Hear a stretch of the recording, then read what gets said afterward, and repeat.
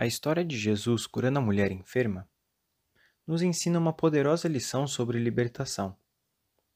Assim como as costas encurvadas da mulher foram curadas após longo sofrimento, também podemos nos erguer e ser libertos de nosso sofrimento.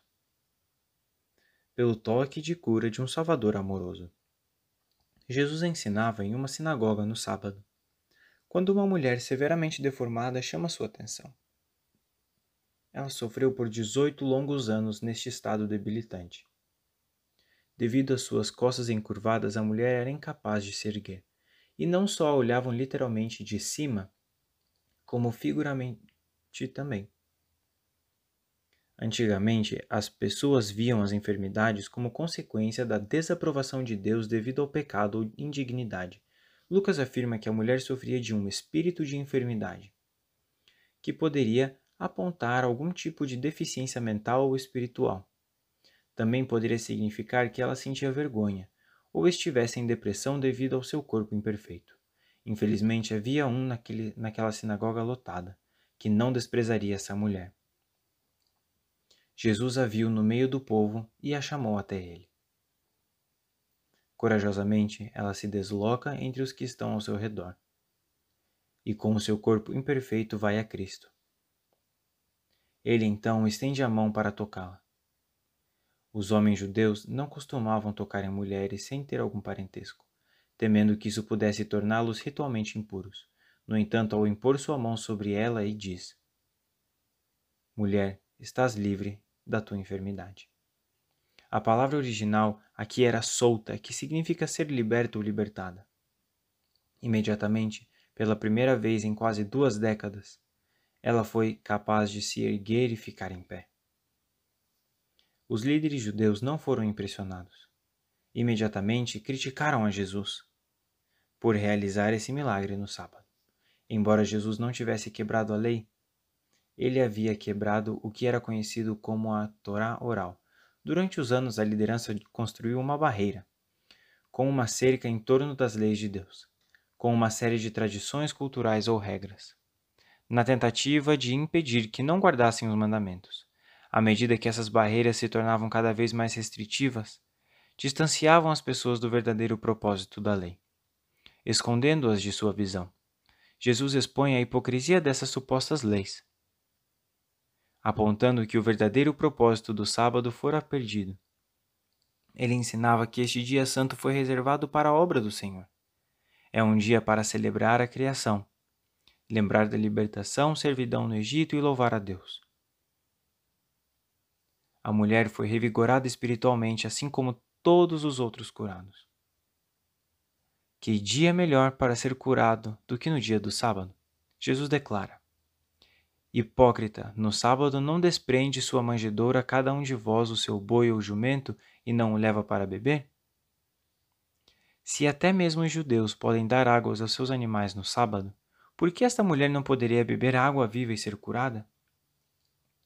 Quão apropriado que, após ser curada, ela glorificaria ao Senhor, porque especialmente neste dia demonstramos nossa devoção ao Altíssimo. Ao estudar as Escrituras, obtemos uma melhor compreensão deste relato, examinando seu contexto. Com isso em mente, vamos considerar o que Jesus ensinou, imediatamente antes e depois de sua cura milagrosa dessa mulher, pois adicionará uma ideia melhor desses eventos. Antes da cura da mulher, Jesus contava ao povo da sinagoga a história de quando a torre de Siloé desmoronou, esmagando 18 pessoas. O mesmo número em anos do sofrimento dessa mulher, assim como estas pessoas morreram sem culpa por isso, essa mulher também não fez nada de errado para sofrer dessa enfermidade. Ao relacionar essas duas histórias, podemos aprender que até mesmo coisas ruins podem acontecer a pessoas boas, quando a mulher consegue ficar em pé novamente, Jesus faz algo notável. Ele a chama por um nome que aparece apenas uma vez na Bíblia: Filha de Abraão. Os judeus viam Abraão como o maior dos patriarcas e que as bênçãos prometidas vieram através dele, devido à sua fidelidade e de Sara. Jesus certificou de que aqueles que estavam na sinagoga naquele dia entendessem que, apesar de como haviam o Senhor enxergava seu verdadeiro valor e divindade. Mais adiante no capítulo, Jesus compartilhou dois parágrafos curtos, um sobre o grão de mostarda e outro sobre o pão levedado. Ele explica que mesmo a menor das sementes pode se tornar uma árvore. Mesmo um pouco de fermento, quando adicionado à farinha, aumentará a massa e produzirá grandes pães. Provavelmente ele compartilhou essas parábolas para ajudar ao povo a ver a grande importância dessa mulher. E de cara, um de nós como filhos de Deus. Possivelmente, após anos, as pessoas desconsiderassem o que ele poderia fazer, no entanto, nela havia uma semente que, embora pequena, continha o que Pedro chamou de a natureza divina. Ninguém deveria considerar o potencial divino dessa mulher. Ela passara 18 anos olhando para baixo. Sua visão míope e limitada teria focado nos pedregulhos, a poeira do chão junto a seus pés. Agora, seu campo de visão fora ampliado, e ela poderia olhar diretamente nos olhos de outras pessoas.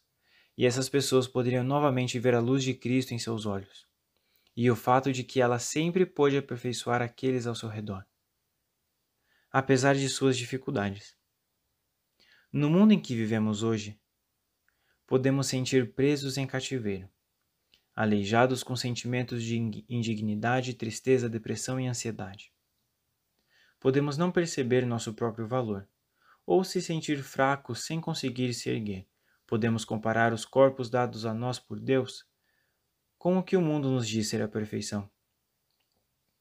Pode ser mais fácil olhar apenas para o chão e deixar de ver o majestoso céu azul em cima de nós.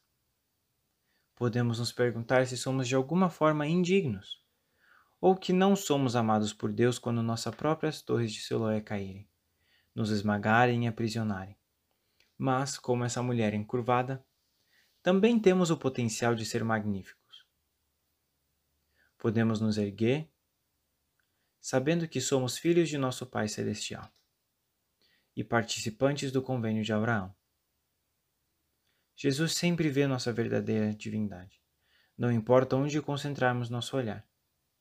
Com tantas exigências de nosso tempo e atenção, Deus nos deu um dia a cada semana, o dia do Senhor, para nos concentrarmos nele e fazermos sua obra. Ele nos chama para ir até ele, para que nossos espíritos possam ser elevados, revigorados e sãos novamente. Ele quer que sejamos livres do que nos prende. E então, como esta mulher curada pelo toque do Mestre, também poderemos louvar e glorificar o nome de nosso Senhor e Salvador. Sim, Jesus Cristo.